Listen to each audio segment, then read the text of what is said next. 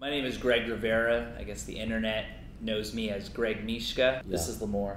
I'm one of the owners and president of Mishka NYC, based out of Brooklyn. I'm L'Amour Supreme, and I'm one of the creatives for Mishka NYC. It wasn't strange for me to try this device because I was always very reluctant just to take medication. Like I said, my doctor had encouraged me to continue to use this if it was working. The anxiety medication was supposed to be taken as needed, and I really don't haven't had the need to use it since if, if I'm using the device regularly.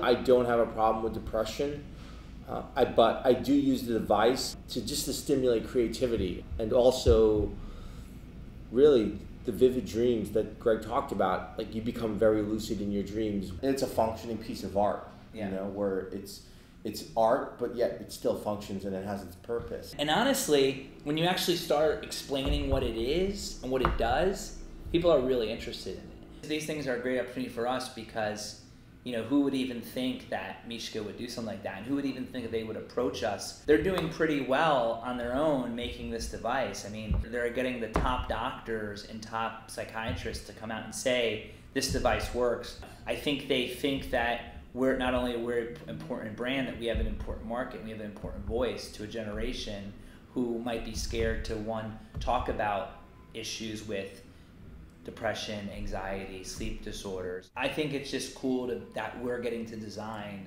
something like this i mean Right. you know it's almost like It's the first of its kind. What's like, going to you know- happen if this is successful? to me i like the fact that not only are we doing a cool collaboration but could actually change somebody's life